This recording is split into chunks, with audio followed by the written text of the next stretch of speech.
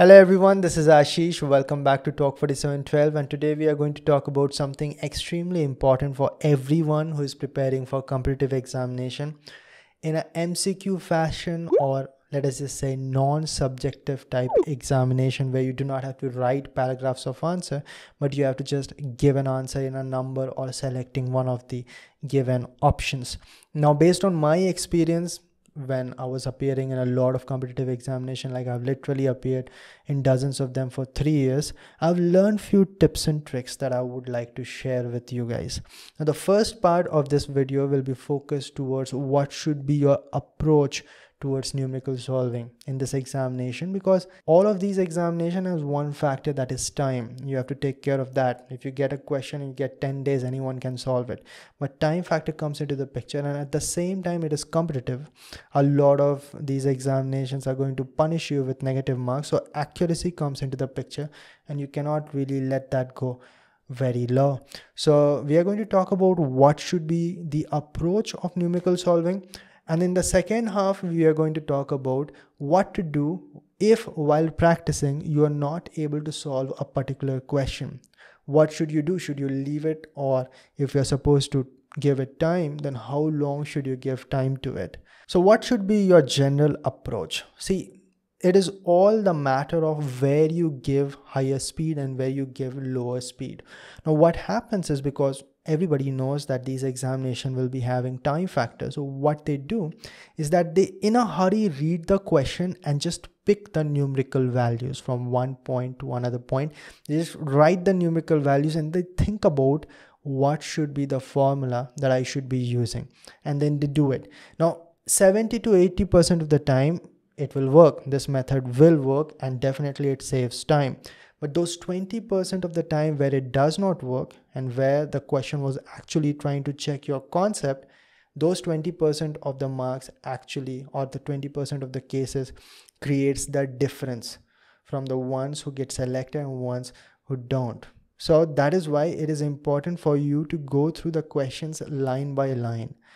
Later on, when you're solving the question, and everything is set you can increase the pace but this is the time where you should read each and every word of the question each and every word will be giving you some hint or the other based on which you'll be able to solve the question.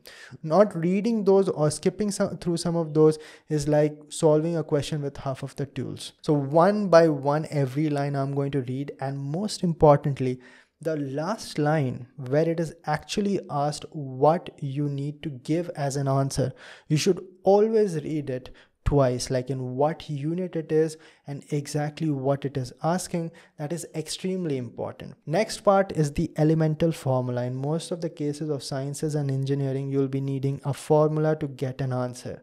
So you put that formula over there for safety just in case. If you directly put the values there can be some mistake. That's where we get the silly mistake.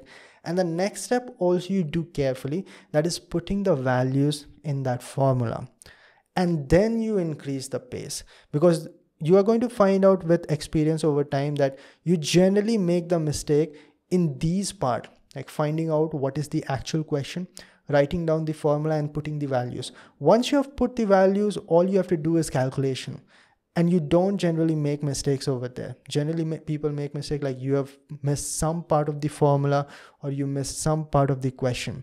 So you understand where you have to increase the pace. For example let us say you read the question very fast and then you wrote any formula and then you got stuck. And because of that you found oh i made a mistake over there. Then you go back and change. Then actually you're wasting more time and you're wasting a lot of or losing a lot of confidence as well so what you should be doing is understand where to increase pace. So what you should be doing is like going slowly and then rapidly increase pace, which is the solving part. If you have had sufficient practice, you will not be making a mistake over there. So in the second part, we will be discussing what to do if during your practice time, you're not able to solve a particular question. Now, obviously a numerical based examination will require a lot of practice and a lot of you guys are smart enough to understand that. And that is why a lot of you guys are practicing a lot. But the main contrast happens or the biggest shock that happens is when you have studied a concept and you get into numerical solving practice part and you're unable to solve a lot of questions The reason for that is that there's a difference between understanding the concept and applying it in your numericals. And that's what you need to realize. And above all, accept it. Everybody faces this. The first time I gave a test series, out of 100 marks, I got 9 marks. It's because so far I've understood the concept, I've practiced, but I do not know how to apply it in test series. So over time, you have to get used to whatever you're doing. You have understood the concept, but you have to get used to solving the questions as well. In most of the situations, the first time you start solving questions of a particular topic, what you have studied very well, you will not be able to solve like more than 50% of the questions. That is very natural. What is wrong is that you getting demotivated because of that and reading the same concept again and again thinking that it will make things better for you what happens is that you're getting better at concept again but you're never actually getting better at applying that concept. And thus you have to keep at it. You have to keep solving more and more questions. And over time you are going to become better and trained in solving more questions as well. Now let's get to the point. How much time am i supposed to invest if i'm not able to solve a particular question I'll say a thumb rule would be 15 to 20 minutes initially. You have just started solving questions would be good for you.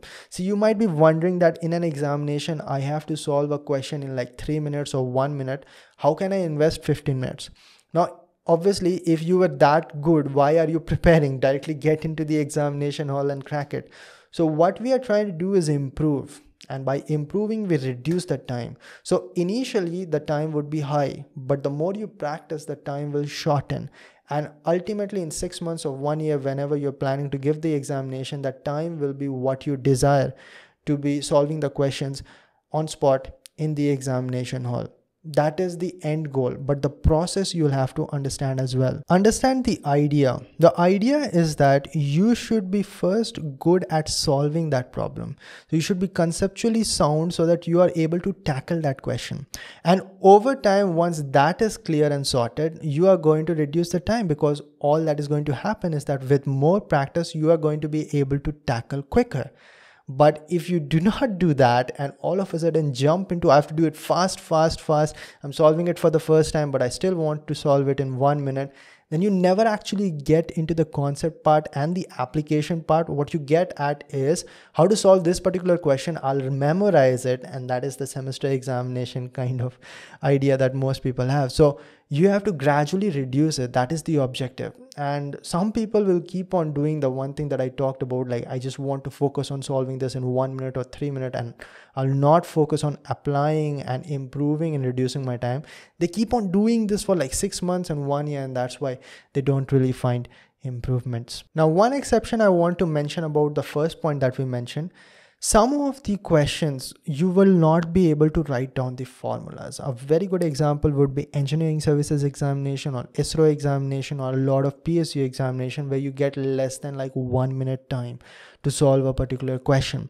In those cases, you won't be able to write down the formula. Then the only solution is having higher practice and do it fast. But then again, to reach that level, you have to do maybe putting a formula and then doing it and then over time the formula is so well memorized that you don't need it. You have to pay extra care and attention and obviously concentration when you're solving that question.